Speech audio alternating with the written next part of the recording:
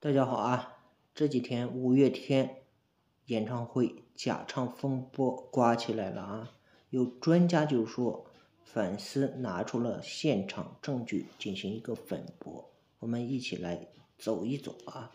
五月天作为老牌乐队，今日演唱会掀起了假唱风波，引起了广大粉丝的关注。有专业鉴定的。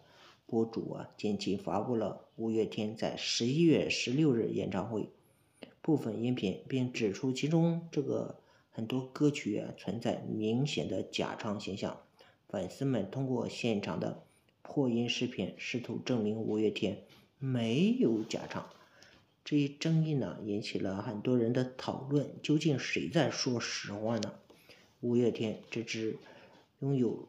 传奇的乐队席卷了整个华语乐坛，他们每一次唱歌都会引起很大的盛世吧。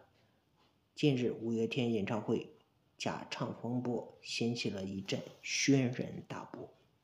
专业鉴定博主在近期发布了五月天十一月十六日部分音频中，其中多首歌曲存在假唱痕迹。大家熟悉的一首叫做《恋爱 RNG》和《伤心的人别听情歌》被确认完全假唱，这个消息立刻引来粉丝的愤怒与失望。五月天粉丝并没有罢休，他们拿出大量现场破音视频，试图证明音乐没有假唱。粉丝们相信五月天。是真唱。由于演唱会强度和长时表演，破音在所难免。他们认为这只是艺术的一种表达，他们对音乐热爱与敬意。反正就是说，得到了很多人的质疑吧。这个争论呢，引发了讨论。五月天作为老牌音乐队，一直被称为演唱会之王。他们载着很多粉丝的喜悦与期待，就是在舞台上付出了很多努力。这样的高强度表演对身体和嗓音来说，无疑是一次非常重的考验。这也引发了对演唱会边表演这样的思考吧啊，就是说在音乐圈呢，唱功越来越被重视，很多人希望能听到真实的声音。但作为现场的流行乐队啊，五月天演唱会啊，给观众更多的不仅仅是音乐，还有视觉、情感、互动各方面的体验。这个舞台上复杂的就是说，使得不得在某些场合做出妥协，以确保演唱会视听效果。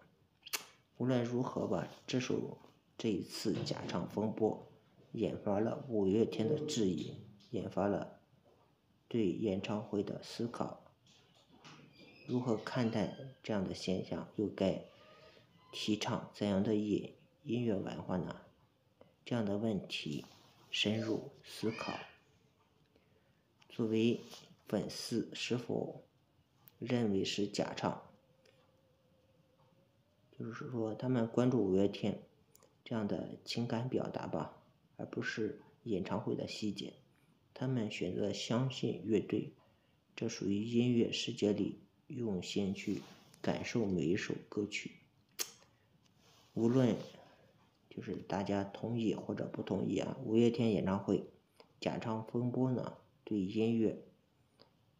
就是掀起了一个新思考吧，乐队的成功和舞台表演之间的一个平衡，是当这种流行音乐面临难题吧，让人们思考，在娱乐圈中，艺人就是为了迎合观众需求所付出的努力是被认可的啊！希望未来演唱会呢，给观众带来更多的魅力。反正就是说，争议和统一的声音呢，都应该把这个音乐舞台进行这么一个融合，打造出更加璀璨的华光时刻。